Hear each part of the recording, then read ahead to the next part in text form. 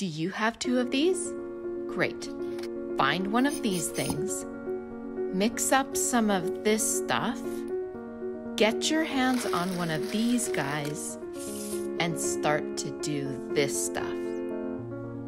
Then you're gonna have this thing.